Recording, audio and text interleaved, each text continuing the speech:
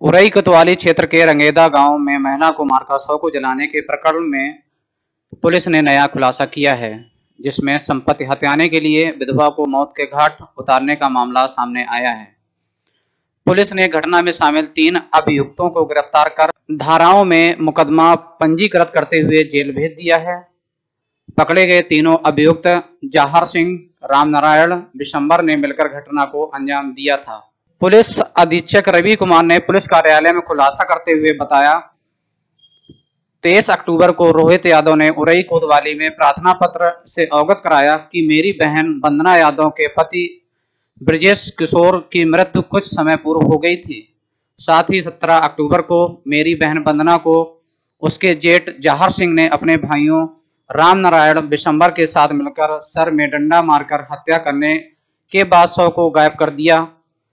जिस पर हत्या की घटना में अभियुक्तों को शीघ्र गिरफ्तारी के लिए अपर पुलिस अधीक्षक के मार्गदर्शन में टीम को लगाया गया, जिस पर कोतवाली उरई पुलिस ने महत्वपूर्ण साक्ष्य इकट्ठे करते हुए मुखबिर की सूचना पर अभियुक्त गणों को ग्राम रंगेदा मोड़ से रात को गिरफ़्तार कर लिया।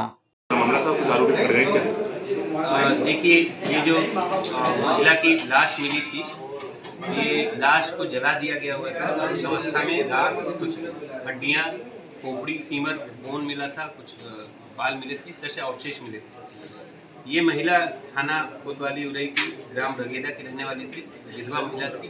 इसका, उसके जेठ ने और उसके अन्य दोनों भाइयों ने, तीन लोगों ने मिलकर सर पे वार किया और उसकी बॉडी को ले जाके जंगल में फेंक दिया था, फिर बाद में पेट्रोल डाल के उसको जला के सबूत सबूतों को मिटाने की भी कोशिश की और इस तरह से इन तीनों लोगों को गिरफ़्तार किया गया है और जो चश्मदीद साक्षी है, वो उस महिला का बच्चा ही है और इन लोगों ने उसको भी डराया, धमकाया था और पहले पुलिस को भी गुमराह करने के लिए ये लोग गुमशुदगी की कहानी बताते रहे और इन लोगों ने इस आड़ में, गुमशुदगी की आड़ में महिला की हत्या करके उसकी लाश को जला के साक्ष्यों को मिटाने का काम किया है। इसी अपराध में थाना कोतवाली उरई में मुकदमा पंजीकृत किया गया है और तीनों लोगों को गिरफ़्तार कर जेल?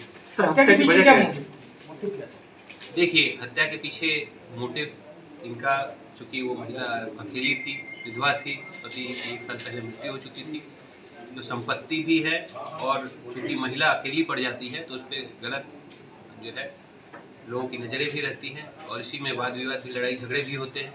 तो इन्हीं कारणों से इन लोगों ने उसकी सर पे लाठी मार के हत्या कर दी और फिर उसकी बॉडी को ले जाके जला दिया। गिरफ़्तार करने वाली टीम को सर- जय की शायद लड़के। के द्वारा की क्या लड़के के सामने हत्या की? बच्चे जो है उसके दो बच्चे हैं। उन बच्चों का कहना है कि उसके सामने ही लोगों ने हत्या कर दी और उसके बाद जो है डरा धमका के उसको जो है अपने कब्जे में रख के डराया धमकाया और उनको मना किया कि पुलिस को बताएँ।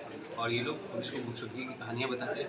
लेकिन बाद में जब चीज़ें खुल के आई उसके बच्चे जब अपने अपने मामा मामी से बात की और सारी चीज़ें सामने आई तभी इस घटना कुल कितने लोग कुल तीनों लोगों को गिरफ़्तार किया गया है। जहार सिंह है राम नारायण है और विश्वम्भर है। इन तीनों लोगों को पकड़ के जेल भेजा जा रहा तीनों में कोई आपसी संबंध है?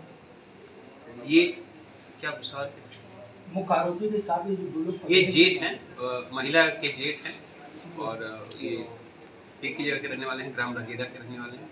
और हम दो तीनों को देखते हैं।